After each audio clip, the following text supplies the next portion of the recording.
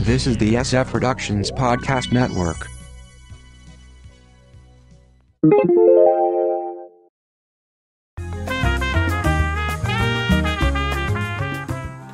A long time ago in a theater far, far away.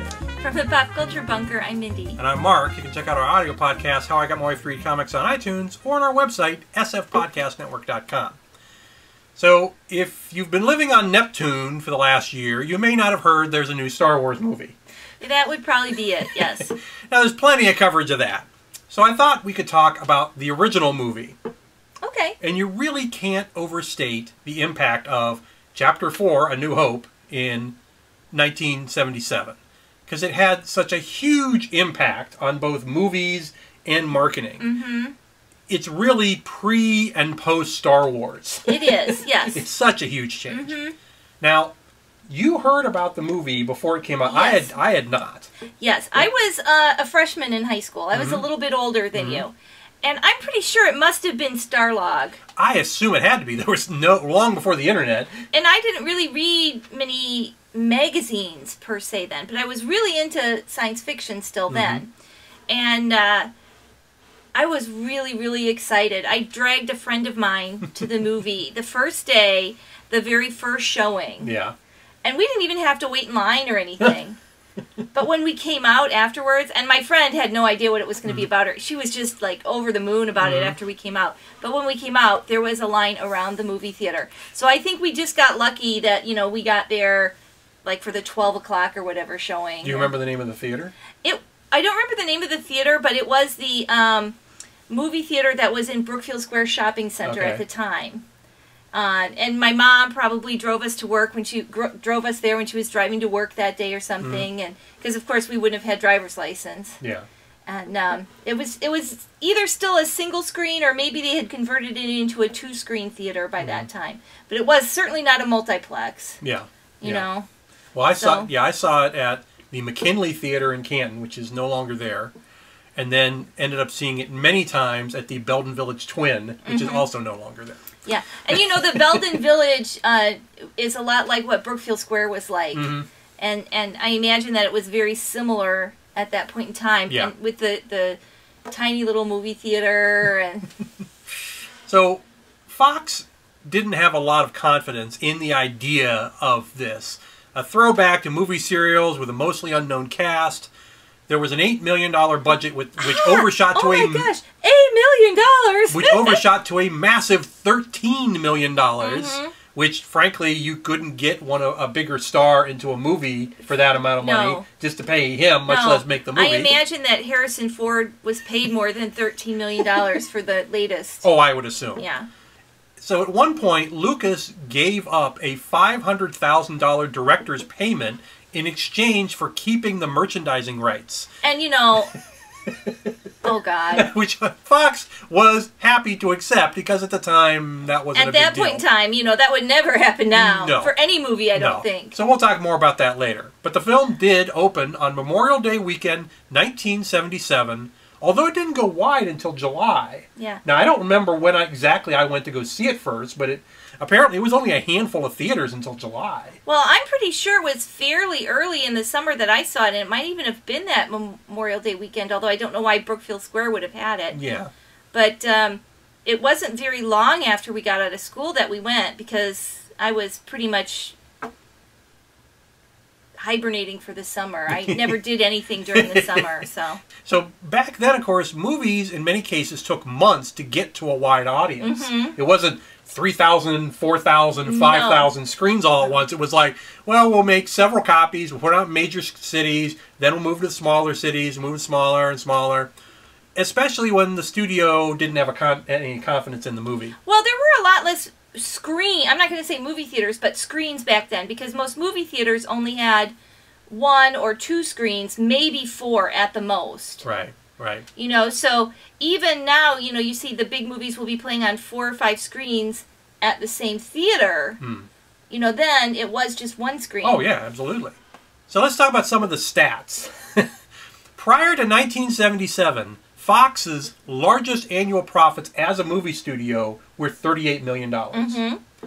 In 1977, they made $79 million. Oh, jeez. The original run, Memorial Day weekend 1977 until Labor Day weekend 1978, 15 months. and you would never see a 15 month run in the theaters now. It made $307 million at the box office. It holds number seven all time domestic, number two adjusted for inflation, which based on that puts it at $1.4 billion. It was re released in 78, 79, 81, 82, and then got the special edition, which with all these new effects in 1997, you know, where Han didn't shoot Yeah. first. Mm-hmm. Won six Oscars art direction, costume design, film editing, original score, sound, and visual effects. And I have to think that if it was actually hadn't been in that sci-fi category that still gets a little bit of the Yeah, shaft, it, right. it would have done a little better on there. Right, but it was nominated for Best Picture. It was nominated for Best Director and Supporting Actor for Alec Guinness. hmm So, in 1977 to 78, in that period, I was about 13, 14 years old. Every few weekends, I went to see the movie again and again. that was just like what she did. It's like, when are you going to do this? Oh, let's go see Star Wars Let's go see Star Wars again. You know you can't do that now because movies don't stay in the theater that long. But that movie literally stayed in theaters for a year and a half, and you have to wonder, you know, what happened to the other movies that should have been coming out Yeah. then. well, every studio was retooling. It was like it was like when they went from really when they went from the silence to the talkies. Mm-hmm. It was like science fiction, everything, anything that was in their in their possession that was science fiction related got greenlit immediately. Mm-hmm. There was a ton of science fiction that came out of this. But if you went to the stores in the summer of 1977, you wouldn't find a lot of Star Wars stuff to buy No. because merchandising prior to Star Wars was an afterthought. You'd bring in some the who's the junior paralegal back in the closet somewhere, have him write the contract for the merchandising Yeah. because it, it was it was just like this rounding error to to the studios and to the publishing companies. And movies rarely got a lot of merchandise because it took so long to work out the details, manufacture the stuff, and then get it on the shelves. And and it would be hard to coordinate getting it on the shelf when the movies were actually in the theater and popular. and they didn't want to take a chance until the movie was out. Right. And so only ongoing franchises like James Bond Mm-hmm. would get merchandise.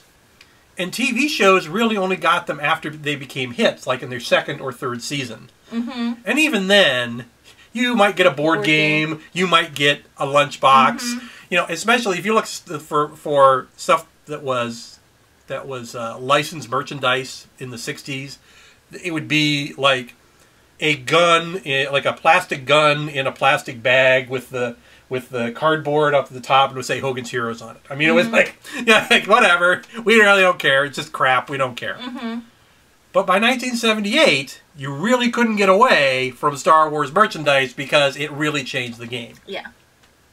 Mego was offered the action figure contract, and Mego was the big player then because they were doing the DC figures, and these were, of mm-hmm. course, the larger figures that were that were uh, had cloth. They actually had uniform- clothes, yeah, yeah. Clothes and all this.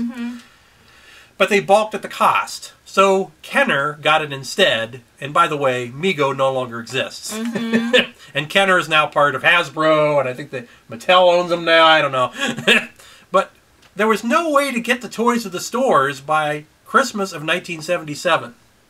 It just couldn't be done because you you had to have them made in Asia and shipped over, and it was a big process. You And could probably do it now, but you couldn't do it maybe, then. but then, then you were talking seven months between the Mm-hmm. movie coming out, getting the contract, and doing it. Well, and you think about just the advances in technology that allow you to make some of these things Yeah, now. you can prototype you like know, that. yeah. hmm This forced the creation of one of the most brilliant marketing ideas ever. Something that I assume marketing majors like have to write papers on this. the Star Wars IOU. A desperate parent of a kid who loves Star Wars could buy the Star Wars Early Bird Certificate Package. A picture on cardboard of the four Star Wars figures they could receive between February and June 1978 by sending it back to Kenner. Uh, I, the number of disappointed kids that found this under the tree in 1977 Christmas it Well, has to be massive. It's like, eh. what is this? a piece of cardboard with a picture. Now, of course, there would eventually be over a hundred action figures just in the original run, and probably thousands Yeah. in all these subsequent runs. One of which was recalled. It was a Boba Fett figure that launched a rocket from its back that became a choking hazard, and now it's one of the most prized collectibles because almost all of them got snapped up. Mm-hmm. Lightsabers were another issue because they were they, they were separate and and they just you kind of put them in their hand and they were choking hazards again. So later figures had the saber go up the arm of the figure. Like a switchblade. Yeah, saber. exactly. Yeah, you just go Well, that kind of makes sense. and that way you can't you can't lose it and Yeah. you can't choke on it. Mhm. And you could get Star Wars bed sheets and T-shirts and model kits and bubble gum and costumes, whatever you want.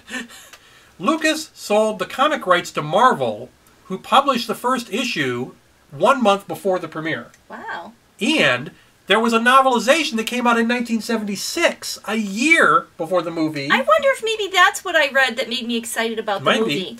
Because I did read it, you know. It's supposedly written by Lucas, but actually goes written by Alan Dean Foster. And now, if you get it, it does say Alan Dean Foster. Now the, they do. as the author. And then, of course, there's the Star Wars Holiday Special. Only aired once on CBS in 1978. It's best known for the Wookiees celebrating Life Day, Bea Arthur running the Cantina Bar, an inappropriate hollow film featuring Diahann Carroll, and the first appearance of Boba Fett before Empire Strikes Back in cartoon form. Mm-hmm. It is in continuity because of that. Yeah. And they lined up most of the actual cast for this mostly live action disaster. Lucas disowned it and destroyed the master copies, although from what I was reading, he got the dailies. So it's not like it was like he's like I don't remember anything about that. Oh, it, it just came up and oh now I hate it. It's like well you knew about it all along. Maybe he didn't watch the dailies. That's I he must not have. yeah. So you can't find it officially, but you can easily find it on YouTube. Yeah. you know, they may not be the best copies or anything, Right. but you can get the general idea. But really, you probably don't want to watch it. And the theory is once Lucas passes away, they think that they'll agree to go ahead and put it out officially. Well, do you think he's that he sold that along with the other Star Wars things? Well, or So I was reading that apparently CBS owns part of it. This is one of these. Oh, okay. Fox owns part of it. It's yeah. It's. I don't think it's part of the whole thing that Marvel bought the rights to. all right. So Well, Star Wars holds a place in my heart. Mhm. At least the 1st Mhm. three right. Movies, What there are there are other other movies I'm not aware of those. and we will be seeing Yes. the next one. Probably not till after Christmas. Right. Uh, and we hope that you guys all go see it too. Mhm. And in the meantime, you can listen to our audio podcast, How I Got My Wife to Read Comics on iTunes, or on our website, sfpodcastnetwork.com. From the Pop Culture Bunker, I'm Mindy. And I'm Mark. Thanks for watching. And may the force be with you.